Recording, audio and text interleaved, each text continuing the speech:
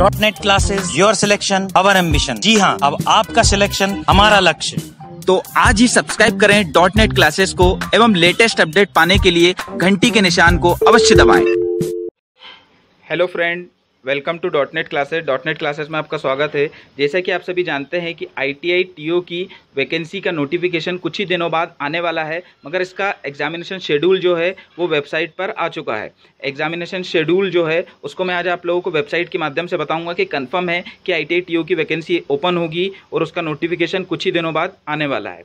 तो officially website पर चलते हैं। ये पी की वेबसाइट है प्रोफेशनल एग्जामिनेशन बोर्ड ठीक है, जिसका पहले नाम व्यापम था। तो ये ओपन करता हूँ मैं यहाँ से क्लिक करा मैंने। अब यहाँ पर आप लोग देख रहे हैं कि एग्जामिनेशन शेड्यूल एग्जामिनेशन शेड्यूल पे मैंने यहाँ क्लिक करा। एग्जामिनेशन शेड्यूल में 2019 ऑलरेडी क्लिक है।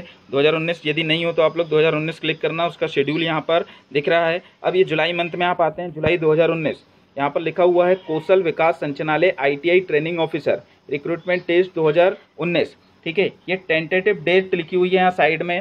सत्ताईस से अट्ठाईस जुलाई 2019 ठीक है टेंटेटिव डेट का मतलब ये होता है कि एग्ज़ाम जो है, इन डेटों में होगा या फिर इससे आगे पीछे भी हो सकता है। ठीक है, सत्ताईस, अट्ठाईस जुलाई 2019 तो समय काफ़ी कम बचा हुआ है।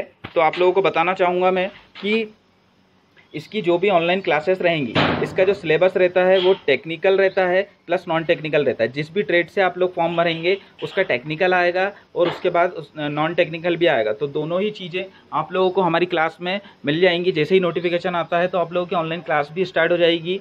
टेक्निकल और नॉन टेक्निकल दोनों की। सपोज़ आपने इलेक्ट्रिशियन से भरा है तो इलेक्ट्रिशियन का टेक्निकल आएगा फिटर से भरा है तो फिटर का टेक, टेक्निकल पोर्शन आएगा वहाँ पर। ठीक है तो बहुत ही अच्छी वैकेंसी होती है। जो लोग पहली बार सुन रहे हैं उन लोगों को बता देता हूँ मैं कि इसके लिए जो क्वालिफिकेशन रहता है मिनिमम क्वालिफिकेशन उसके लिए डिग्री वाले भी भर सकते हैं इस फॉर्म को डिप्लोमा वाले भी भर सकते हैं ठीक है और आईटीआई वाले भी भर सकते हैं। ठीक है आईटीआई में पढ़ाना है आप लोगों को तो आईटीआई वाले भी इसके लिए एलिजिबल होते हैं। जो पिछले बार का नोटिफिकेशन था, उसके अकॉर्डिंग आई वाले भी इस फॉर्म को भर सकते थे।